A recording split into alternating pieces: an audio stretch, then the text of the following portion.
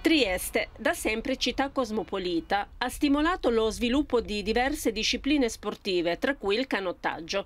Da qui lo spunto di questo libro in cui Franco Stener illustra la storia del canottaggio nell'Adriatico orientale. Un capitolo importante riguarda la tradizione in Istria, Fiume e Dalmazia.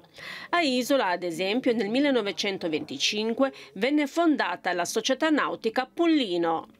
Isola con la Pullino nel 28 è il prima Olimpiade istriana e medaglia d'oro subito, insomma, ecco, più altri quattro titoli europei, però questi ragazzi di 18 anni di media che vanno lì e fanno un po' la barba a tutti quanti e insomma hanno fatto la storia del canottaggio istriano. Ecco.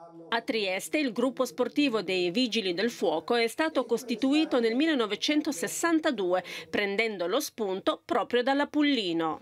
Remato con i figli di quei primi forti canottieri, parlo di Ennio Fermo, parlo di Franco D'Agostini, parlo di tanti altri che appunto hanno tramandato questa passione anche ai propri figli che negli anni 80 e 90 hanno portato alto il loro nome, uno su tutti Luca Vascotto.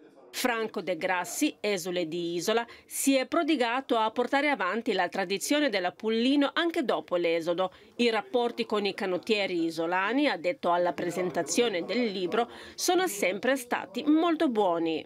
Dobbiamo fare in maniera tale che questa sia una regione unica, una regione che cresca. Oggi non c'è più nessun confine in Istria e quindi questo è un discorso molto importante.